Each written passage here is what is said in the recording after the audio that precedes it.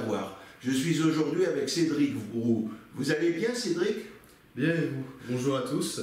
Ça va très bien moi aussi. Et, et, euh, donc euh, vous avez écrit un roman qui semble très bien. Vous pouvez euh, nous parler de vous déjà d'abord, un peu de votre vie Oui, bah, écoutez, je m'appelle Cédric, je suis professeur d'histoire-géographie. Ah, excellent. Voilà, j'ai commencé l'écriture au collège, en classe de quatrième, avec mon meilleur ami, D'ailleurs, euh, le roman que je vais vous présenter aujourd'hui, euh, Rêve, qui est le premier tome d'une saga de fantasy, euh, a été coécrit avec mon meilleur ami, justement, Robin.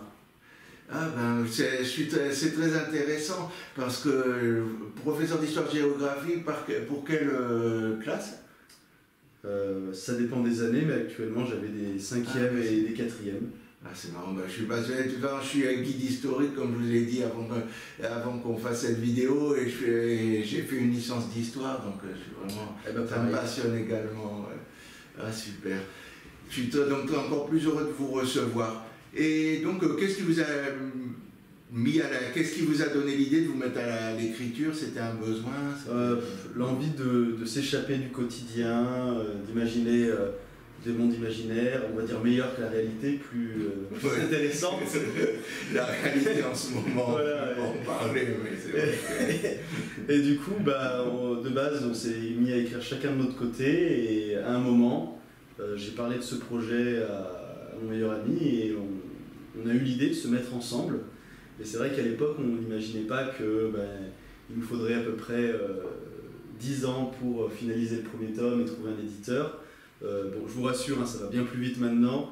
Euh, on a pris le rythme. Euh, voilà, le, deuxième tome est en, cours d'édition chez Farallon Édition et le troisième tome à l'écriture bien avancée.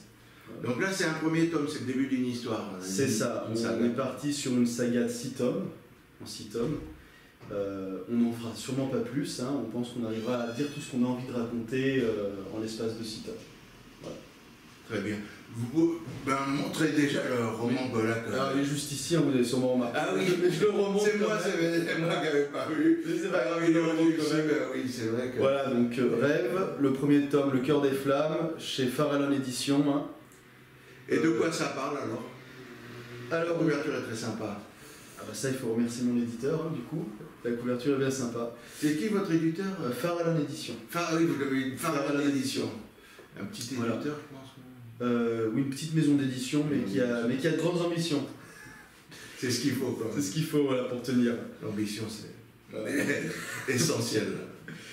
Euh, bah, du coup, pour parler de quoi ça part, alors je suis très mauvais pour faire des résumés, mais je vais essayer de faire au mieux. Alors on va suivre euh, Kylian, un jeune adolescent qui va se réveiller amnésique dans un campement militaire. Et il va tout de suite être confronté à une bataille face à un ennemi commun de l'empire des où il se réveille, euh, bataille dévastatrice.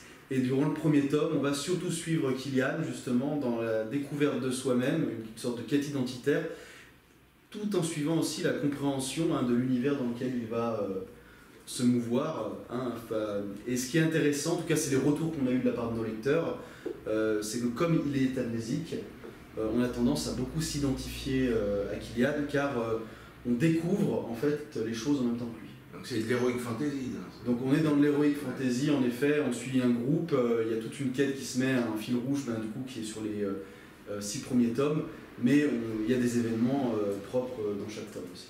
Ça marche très bien l'héroïque fantasy et c'est c'est un, un, des genres qui marche le mieux en plus. J'espère que vous avez le succès, que vous aurez le succès. Bah, c'est vrai qu'il y, a, vrai y a la renaissance de la fantasy un peu actuellement. Hein. C'est un genre qui est de plus en plus euh, accessible et demandé, heureusement. Ouais. Ben c'est ça, les jeunes lisent de moins en moins, mais il y a toute une communauté geek qui doit lire que ça, l'heroic fantasy. Et puis on voit aussi les succès de Game of Thrones.